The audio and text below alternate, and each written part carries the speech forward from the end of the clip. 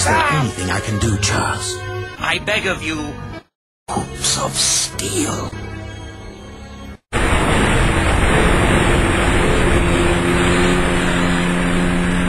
To put it in the vernacular, alley-oop.